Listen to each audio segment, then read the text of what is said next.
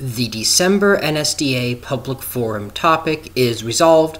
On balance, standardized testing is beneficial to K 12 education in the United States. This is kind of a better version of the May 2015 NCFL Grand National Tournament topic. There's a slight advantage to the con side in terms of just offense versus defense in arguments and in lit skew, but it's definitely more balanced than the September topic or the November topic in terms of relative strength of sides here. So let's start with the wording as usual. On balance, prevents con from simply defending less standardized testing, and it forces both teams to look at the harms versus the benefits of the status quo. So you can't just say, well, Sure, standardized testing could be good if there was less of it done. We're talking about what's happening right now. So if Con says less standardized testing would be a more optimal balance, it does not change whether this balance is good or bad. And really, the situation that this might develop into in a debate for two competent teams is the pro team might prove for a fact that standardized testing as it exists right now at the current level of testing is far from optimal, but that it is still slightly better than no testing. Whereas Con is able to prove that if we had half as many tests, we would have half as many harms and twice as many benefits, but that wouldn't necessarily change the fact of whether or not the status quo is beneficial on balance so much as whether something else might be even more beneficial, but that's not what is being asked. So, on the one hand, Pro wants to use this to try and push it into a do we have this as an option or not? Is this a tool in our toolbox or not?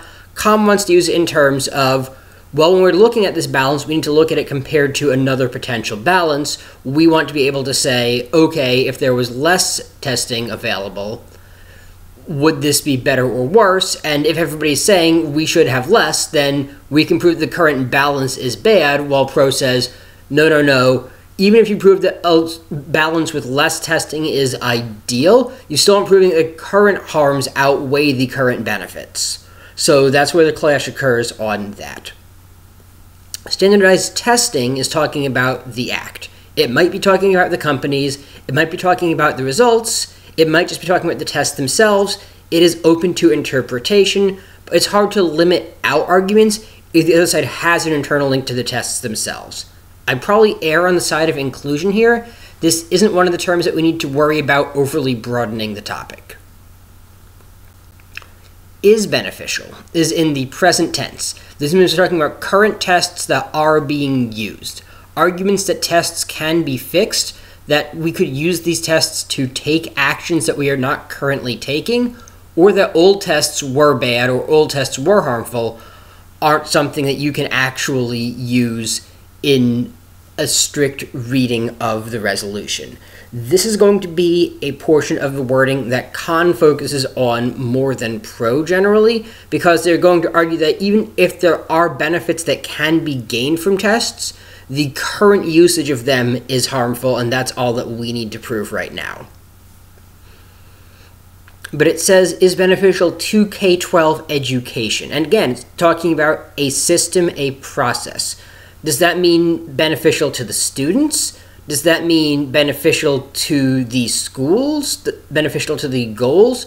defining what goals education has and how you can determine whether or not something is beneficial to K 12 education is going to be a fairly big part of this for both teams. That's what decides which impacts can be weighed in this round and how heavily. It then says in the United States. Now, in the United States only appears once. It modifies K 12 education, it does not modify standardized testing.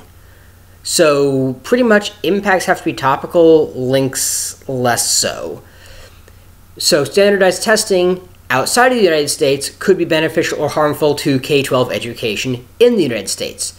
Standardized testing for college students, for grad students, for teacher certification could be beneficial or harmful to K 12 education in the United States. So, where in the United States appears in the resolution functionally broadens it It just limits the impact to education in the US.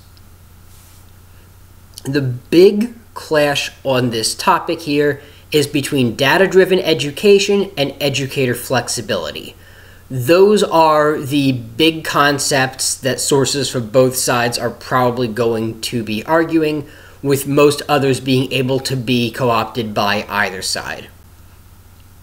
The trouble with weighing harms versus benefits on balance here is that we know what benefit